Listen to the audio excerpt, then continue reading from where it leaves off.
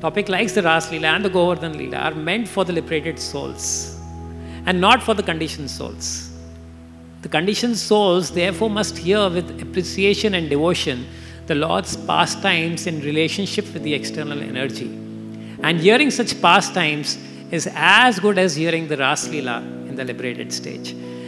And, uh, and of course, he says this in connection with the Purusharthas, and he says, uh, you know, some serious devotees think that to hear about the pastimes of the Lord means to hear about his activities with the gopis or about his pastimes like lifting Govardhan Leela.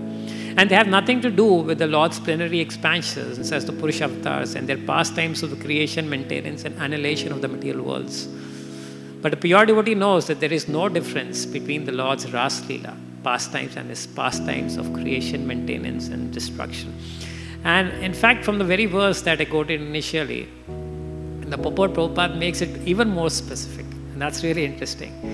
And he says, Shukdev Goswami wants to present the truths of creation not as a metaphysical theory of philosophical speculation, but as the actual facts and figures of the subject, since he would be dictated to by the Lord exactly in the same manner as Brahmaji was inspired. Very powerful. He's saying not as a metaphysical theory or philosophical speculation, but as the actual facts and figures of the subject. Now, look, um, it's really interesting, you know, because here uh, what is happening is that uh, if you see the, uh, the flow from the second chapter, uh, we have uh, Shukdev Goswami uh, defining the process or glorifying the process of bhakti till about the verse 22. And then from verse 22 till I think about verse 29, which uh, actually, uh, you know, ends with uh, glorifying Lord Vasudev as the source of everything. Uh, you know, especially the verses that end with uh, Vasudev Paraveda Vasudev Paramaka. So what he's doing is glorifying bhakti and then glorifying Bhagavan. So it's first glorification of bhakti, that's his energy, and then the glorification of the Bhagavad Tattva. Now, before this, uh, Suta Goswami has already, you know, defined how this Brahma Tattva can be understood in Tattva, Tattva Vidas. So it is Brahmeti, Paramatmeti, Bhagavan iti Shabdyate.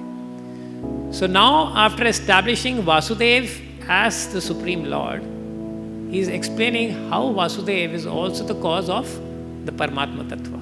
So, in the next verses, that is 30, 30 31, 32, 33, he is glorifying the Paramatma Tattva in general.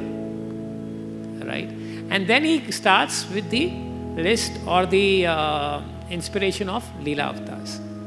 Then again he comes back to the Paramatma Tattva. So it's not actually that things are being repeated.